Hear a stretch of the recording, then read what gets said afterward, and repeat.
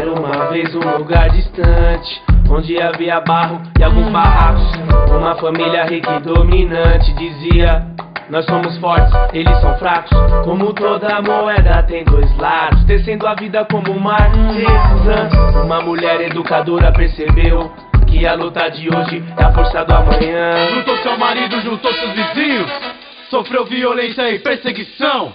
Porém, nada cala a voz da consciência. E resistência nasce da indignação.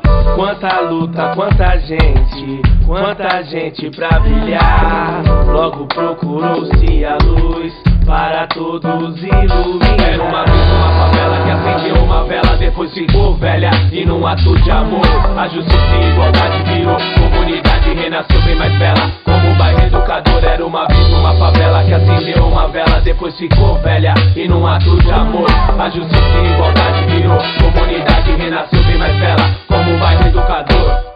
Ao invés de desistir e aceitar, Educar-se para sonhar, ao invés de sonhar e refletir, educar-se para agir, ao invés de julgar e condenar, educar para conscientizar, ao invés de agredir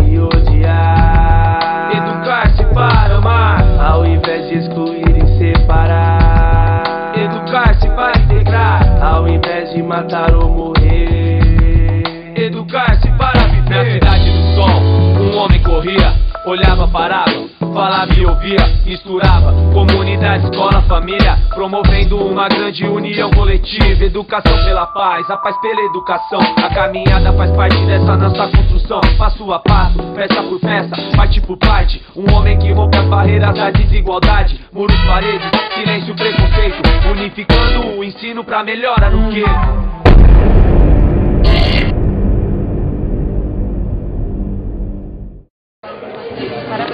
Tá bom, obrigado. Qual é o seu nome? Marina.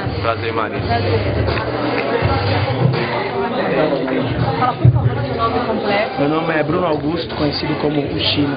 Tá certo. Gina, você faz parte desse grupo. Como é que é trazer para as pessoas é, um pouco da arte de você? Bom, pra gente é bem gratificante, né, poder estar desenvolvendo esse trabalho é, fora dos palcos de casas noturnas, né, a gente poder desenvolver com a juventude, mostrar o papel da música, né, fundamental na educação, na diáspora cultural.